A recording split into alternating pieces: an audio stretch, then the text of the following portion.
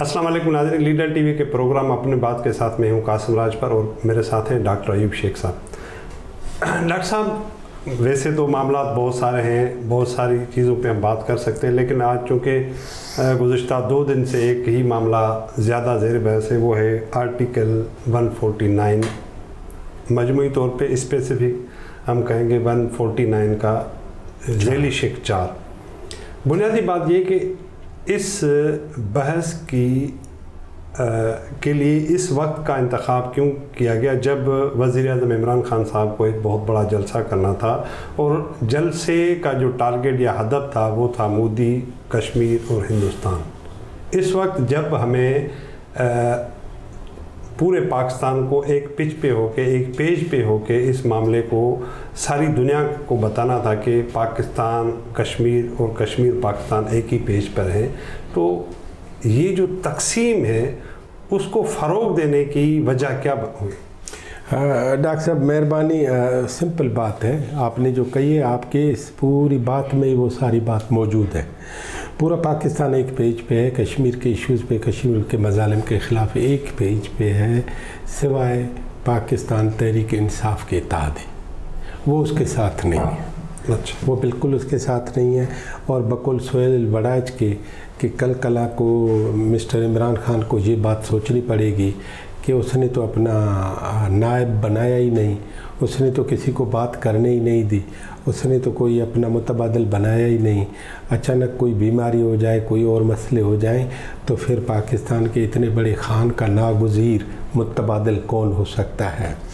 تو لہٰذا یہ عمران خان کے لیے ناگزیر تھا کہ اسے اتحادی لیں، اور ان اتحادیوں کے لیے ناگزیر تھا کہ وہ بھارت کی حمایت کے لیے، چونکہ چنانچہ اگر مکار چوں چوں چوں چوں کر کے اور یہ ساری بات کرتے۔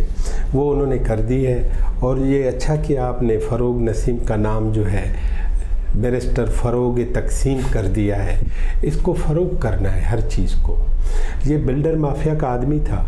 اور اس کے ساتھ کئی اینکر موجود ہیں پاکستان کے ٹیلی ویژنس کے، جو بلڈر مافیا کے دل دادا ہوتے ہیں، بہت چہیتے ہوتے ہیں۔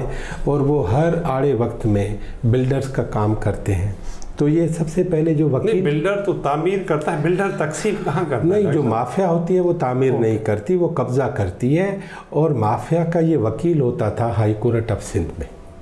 یہ فروغ نسیم صاحب جو ہیں تو فروغ تقسیم۔ فروغ تقسیم صاحب جو ہیں انہوں نے اب یہ کام کر دیا ہے۔ اب صورتحال اتنی آگے گئی ہے کہ کل وہ سندھ کا بیٹا بھی ہو گیا۔ اب وہ یہ کہتا ہے آج تو قومی اسمبلی میں سب سے بڑا ایشو حالانکہ آج میرے حساب سے قومی اسمبلی یا صوبائی اسمبلی سندھ ہو یا کسی اور صوبے کی ہو اس کو عمران خان صاحب کے جلسے کے حوالے سے چونکہ کاز ہمارا مشترکہ اس میں ہم تو میں نے بتایا نا پورا پاکستان ایک پیج پہ تو آج بجائے اس کے کہ ہم مودی کی مذمت کرتے، بجائے اس کے کہ کشمیر کے معاملے پہ ہم کوئی مشترکہ قرارداد لے آتے، لیکن آج ہم صرف ون فورٹی نائن پہ بات کرتے رہے۔ تو ایم کیو ایم کامیاب ہو گئی، ان کو بہت بہت مبارک ہو۔ فروغ تقسیم جو ہیں وہ کامیاب ہو گئے، ان کو بہت بہت مبارک ہو کہ آج پاکستان کی اسمبلیاں، پاکستان کی پارلیمنٹ، پاکستان کے اخبار پاکستان کے میڈیا وہ مودی پہ بات کرنے کے بجائے چالیسویں روز کرفیو کی نفاذ کے بجائے اب مظالم کے مظالم کو اجاگر کرنے کے مظالم کو مذمت اور اجاگر کی مذمت کرنے کے بجائے اور مزید پوری دنیا کو بتانے کے بجائے اب ہم جو ہے اندرونی جو اختلافات ہیں اندرونی جو تقسیم کو فروغ دیا جانے لگا ہے تو فروغ تقسیم جو ہے وہ کامیاب ہو گئے ہیں۔ ان کو بارہ مبارک ہو اور وہ مودی سمیت۔ مودی سمیت اور پوری انڈیا سمیت اور پوری ایم کیو ایم سمیت۔ اور یہ سارے جو لوگ ہیں جو چاہتے ہیں کہ کبھی بھی سندھی اور اردو کے درمیان محبت نہ ہو جو چاہتے ہیں۔ ڈاکٹر صاحب یہ تو سندھی اور اردو یا کچھ بھی نہیں ہے نہیں ہے۔ ان کی ان کا تو معاملہ یہی ہے۔ فیڈریشن کا کمزور کرنے کا مطلب یہ ہے کوئی وہ سندھ کی کمزوری کی تو بات ہی نہیں جب آپ سندھ یا پنجاب یا کے پی کے یا بلوچستان پہ کسی قسم کا بھی اس صورتحال میں آپ حملہ کرنے جا رہے ہیں اس کا مطلب ہے آپ پاکستان کے خلاف سازش کر رہے ہیں۔ تو اب یہ ایک دن میں سوشل میڈیا کے پریشر پہ ابھی لوگ راستوں پہ نہیں آئے۔ ابھی احتجاج کی کال ہوئی ہے۔ اور لوگ کہتے ہیں میں تو حیران ہوں کہ نواز علی کے رہنما اور جناب ممن زبیر زبیر جو سابق گورنر تھے سندھ کے سابق گورنر اسد عمر صاحب کے بڑے اسد عمر صاحب کے بڑے بھائی۔ تو انہوں نے کہا ہے کہ اب مسٹر عمران خان سندھ آئیں تو اپنی رزق پہ آئیں۔ یہ باتیں کہنے کی تھیں ہی نہیں۔ یہ فروغ تقسیم کی وجہ سے ہوئی ہیں۔ تو فروغ تقسیم کے لیے اب نمبر ون جو مطالبہ سامنے آنے لگا ہے باوجود اس کے کہ وہ سندھ کا بیٹا ہے باوجود اس کے کہ سندھ اس کی ماں ہے۔ اہم بات ہے یہ کہ سندھ اس کی ماں بھی ہے سندھ کا وہ بیٹا بھی ہے۔ اور جو قطع کلامی ہوگی۔ آج سے کوئی دو چار سال پہلے میں نے ایک بک پڑھی تھی، پہلے انگریزی میں تھوڑی پڑھی تھی، پھر مجھے چونکہ وہ اردو میں میسر ہو گئی، اس کا عنوان تھا کشمیر اور سندھ۔ سرنجن داس ہندوستان کے کوئی لکھاری، انہوں نے لکھا تھا بڑی تحقیق کے حساب سے کہ جب جب بھی پاکستان کشمیر کا معاملہ اپنی سطح پہ، بین الاقوامی سطح پہ جب بھی اٹھائے گا، تو ہندوستان، سندھ اور خاص طور پہ اس کی جو دل ہے، کراچی، اس اس پہ اس قسم کی معاملات خرابیاں پیدا کرے گا۔ اور خرابیوں کے لیے انہوں نے جو لکھ اپنی تھیسس بتائی ہے اس میں کہ وہ ایم کیو کو استعمال کر کے اس طریقے سے کرے گا کہ پوری دنیا میں بجائے اس کے کہ آپ کشمیر کی کاز کو آگے بڑھائیں۔ پھر آپ سندھ کی کراچی کے معاملات کو دیکھتے ہوئے یا پورے پاکستان کے معاملات دیکھتے آپ کا ادھر پورا جو زور و شور سے جس طریقے سے آپ جا رہے تھے اس کو آپ بھول جائیں گے۔ تو یہ تو پوری تھیسس مجھے یہ سمجھ میں آ رہی ہے وہ انڈین ہے نا چھوڑ دو۔ نا وہ انڈین نہیں لیکن کام تو یہ فاروق نسیم نے اس وہی کیا جو اس تھیسس میں لکھا ہوا نہیں یہ تو آپ کا الزام ہے نا۔ وہ سندھ کا بیٹا ہے سندھ اس کی ماں ہے۔ اور اس کو جو جیسے رضا ربانی سینیٹر صاحب نے کہا ہے نا کہ ایک سو انچاس کا مطلب ہے کہ سندھ کو سندھ کا بٹوارہ کرنے کا پہلا قدم۔ تو پہلے قدم کے طور پر فروغ تقسیم صاحب نے یہ بات کی ہے۔ اور میں نے لوگوں سے پوچھا کہ آپ فروغ تقسیم کی استعفیٰ کی بات کیوں کرتے ہیں؟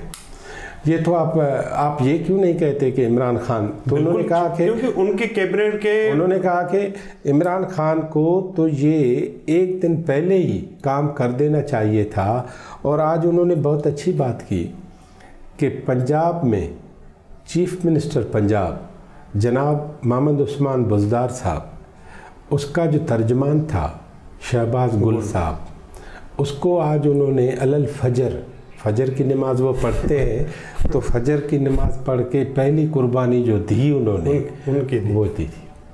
ٹھیک ہے؟ پہلی قربانی ان کی دی دوسری قربانی اون محمد چودھری کی دی کہ بھائی آپ بھی چلتے بنو۔ اچھا کوئی بھی ٹی وی چینل بتا نہیں رہا شہباز گل کا۔ شہباز گل بڑے وہ آ، کونا مشق ترجمان تھے بڑی محنت کرتے تھے گالیاں کم دیتے تھے شور کرتے تھے زور بولتے تھے۔ کبھی کبھی اور فیاض چوہان کے متبادل تو کے طور پہ آئے تھے تو تو لوگوں نے فواد اور فیاض دونوں کو دیکھا۔ تو یہ تیسرا جو تھا اپنا شہباز۔ شہباز گل صاحب یہ آج چلا گیا۔ ابھی ابھی ابھی ہنیں خبر آئی ہے شہباز گل کو کیوں ہٹایا؟ پتہ ہے؟ شہباز گل نے کل کہا پریس کانفرنس میں کہ جس کو عثمان بوزدار کا چہرہ پسند نہیں ہے میں کچھ نہیں کر سکتا وہ پارٹی چھوڑ دے۔ پھر تو کام کر دیا۔ اور شہباز اپنا گل نے مزید کہا کہ یہ جو آپ عثمان بزدار دیکھ رہے ہو اب دیکھو جمہوریت کی بڑی بات ہے حسن ہے یہ جمہوریت کا۔ یہ جو عثمان بزدار دیکھ رہے ہو یہ اور کسی نے نہیں عمران خان نے رکھا ہے۔ تو عمران خان نے جس دن فیصلہ کیا کہ عثمان بزدار نہیں ہوگا تو بارہ گھنٹے میں میں اس کی ترجمانی چھوڑ دوں گا۔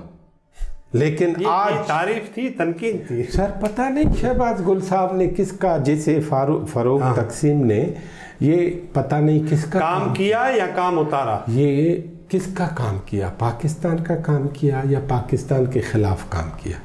یہ اپنی ماں اور اپنے سندھ کے بیٹے ہونے کا کام کیا یا اس کے خلاف کام کیا؟ ٹھیک ہے اور یہ ضروری نہیں ہے کہ سندھ میں رہنے والے سارے لوگ سندھ کے نہیں آپ نے میڈیا دوسرا بھی اس کا دیکھیں نا تصویر کے دو رخ ہوتے ہیں۔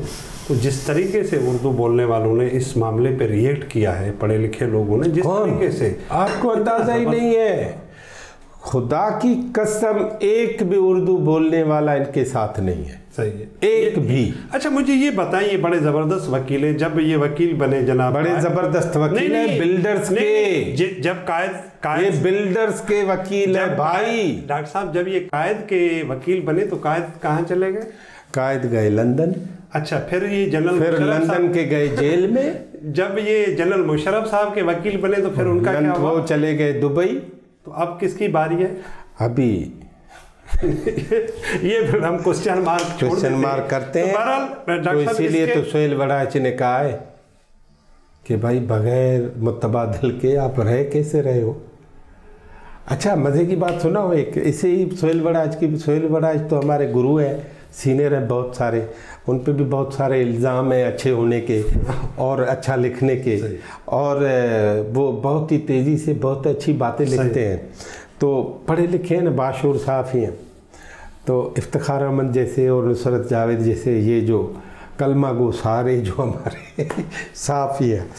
تو جناب سہیل وڑائچ کی اس بات کے بعد مجھے یہ بات یاد آ گئی کہ پاکستان کے اندر آپ شہباز گل کے ایک جملے پہ ترجمان ہٹاتے ہو اور فروغ، بیرسٹر فروغ نسیم جو آپ کا قانون کا وزیر ہے، وہ سندھ کے خلاف اتنی بڑی سازش کرے کہ شاہ محمود قریشی کہے کہ ہم کبھی بھی ایسا کام نہیں کریں گے۔ آج تو اسد عمر کی تقریر ہے بہت سارے لوگ جو ہے کمال کا پوری پی ٹی آئی گئی سر پی ٹی آئی کے جو سندھ میں حزب اختلاف کے لیڈر ہیں فردوس انجینئر فردوس شمیم نقوی صاحب انہوں نے کہا ہے کہ یہ ہماری کمیٹی کا نہ فیصلہ تھا نہ بات تھی آئین میں ضرور لکھا ہے لیکن کمیٹی نے فیصلہ منظور ہی نہیں کیا